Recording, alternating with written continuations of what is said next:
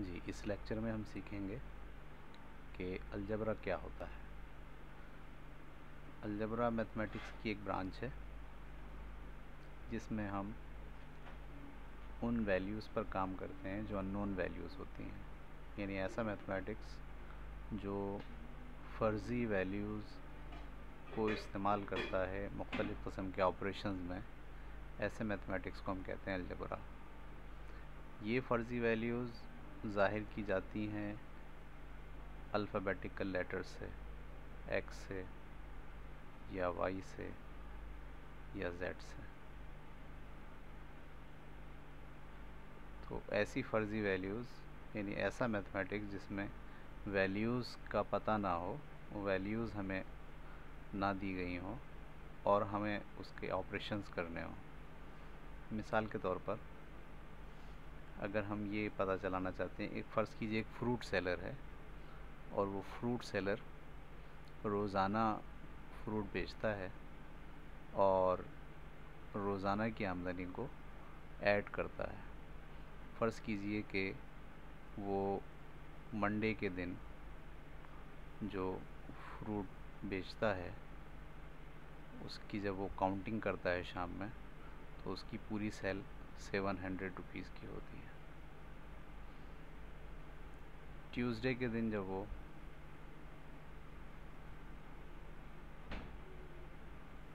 Cell करता है तो उसकी सेल जो है वो एट हंड्रेड रुपीज़ की होती है। वेनसडे के दिन जब वो सेल करता है तो उसकी पूरी सेल थ्री हंड्रेड रुपीज़ की होती है। थर्सडे को जब वो सेल कर रहा होता है। तो एक्चुअली सेल के दौरान उसका भाई जो है वो उसकी दुकान पे आ जाता है और आके कहता है कि मुझे कुछ पैसों की ज़रूरत है। फ्रूट सेलर अपने भाई से कहता है कि भाई, वो जो पैसे वहाँ रखे हैं, उसमें से तुम ज़रूरत के मुताबिक पैसे ले लो, मैं ज़रा बिज़ी हूँ। फ्रूट सेलर का भाई पैसे लेकर चला जाता है। अब जब शाम को फ्रूट सेलर अपनी सारी रकम गिनता है तो वो रकम होती है फाइव हंड्रेड रुपीज़ तो क्या ये तय होगा कि आज उसकी सेल फाइव हंड्रेड रुपीज़ है? नहीं फाइव हंड्रेड रुपीज़ तो उसके पास कैश है और कुछ रकम ऐसी है जो उसका भाई लेके चला गया है। लेकिन ये रकम कितनी है, ये भी पता नहीं है। लिहाजा वो ये रकम फ़र्ज़ी तौर पर यहाँ ऐड कर लेता है वो है एक्स यानी एक्स वो रकम है जो भाई लेकर गया है। इसी तरह से फ्राइडे के दिन फ्रूट सेलर जब अपनी तमाम रकम सेल को काउंट करता है तो सेल निकलती है फ़ोर हंड्रेड रुपीज़ अब अगर इन पाँच दिन की टोटल अमाउंट वो मालूम करना चाहे तो वो इन सबको जमा करेगा ट्वेंटी सेवन हंड्रेड रुपीज़ क्या उसकी पाँच दिन की amount twenty seven hundred rupees है? नहीं twenty seven hundred rupees sale के साथ साथ कुछ रकम और भी है, जिसका अभी पता नहीं है। जब भाई से मुलाकात होगी और उससे पूछेगा कि वो रकम कितनी है तो अंदाज़ा हो पाएगा कि सेल कितनी है। अब ये ऐसा मैथमेटिक्स जिसमें ऐसी वैल्यूज़ इस्तेमाल हो रही है, जिसका पता नहीं है। इसकी वैल्यू क्या है, इसका अंदाज़ा नहीं है, लेकिन हम फिर भी मैथमेटिकल ऑपरेशन करना चाहते हैं।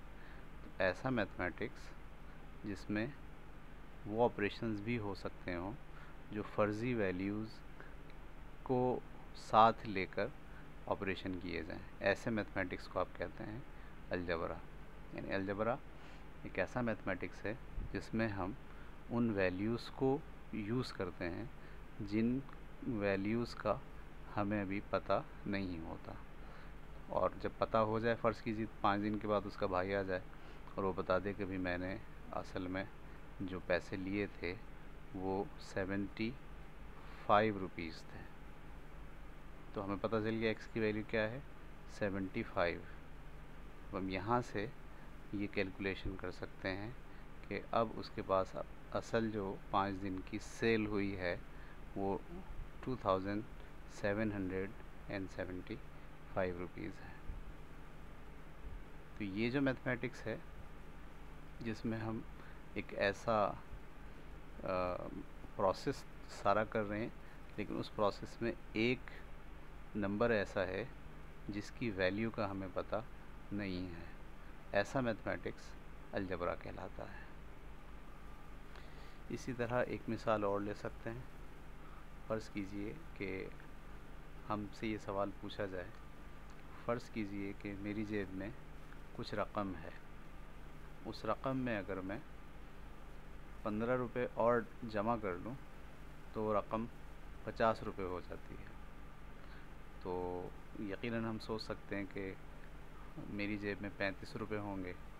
अगर मैं उसमें पंद्रह रुपये डालूँ तो वो पचास रुपये हो जाएँगे। तो ये जो रकम आपको नहीं बताई गई थी लेकिन रकम में कुछ रकम डालकर टोटल कितनी हो जाएगी, इसके बारे में आपको बता दिया गया था और आपसे कहा था, अब आप गैस करें कि असल रकम क्या है। उस बुनियाद पर जो चीज़ें आपको बता दी गई थी। अलजबरा में इस तरह के प्रोसेस बड़ी आसानी से हल हो जाते हैं। यानी अगर हम ये कहें कि फ़र्ज़ कीजिए कि वो रकम जो मेरे पास थी जेब में, वो मुझे नहीं पता, उसे एक्स मान लिया जाए। अगर उस रकम में फ़िफ्टीन रुपीज़ ऐड किए जाएँ तो जवाब क्या आता है? पचास रुपये आता है। अब ये एक अलजबरिक फॉर्म है, जिसमें हम एक ऐसी वैल्यू यूज़ कर रहे हैं, जिसका हमें पता नहीं है। ये फ़र्ज़ी वैल्यूज़ है वैल्यू है। प्लस का फिफ्टीन वहाँ जाकर क्या हो जाएगा? माइनस का फिफ्टीन हम बोलेंगे फिफ्टी माइनस का फिफ्टीन बराबर है थर्टी फाइव अब देखिए, हमने सारा प्रोसेस एक ऐसी वैल्यू के साथ किया, एक ऐसे नंबर के साथ किया जिसकी वैल्यू का हमें अंदाज़ा नहीं था। और प्रोसेस के बाद हम उस नतीजे पर पहुँचे कि उसकी वैल्यू क्या होगी। तो ऐसा मैथमेटिक्स जिसमें हम सिंबल्स यूज़ करते हैं, ऐसे सिंबल जिनकी वैल्यूज़ का हमें पता नहीं होता। ऐसा मैथमेटिक्स अलजबरा कहलाता है।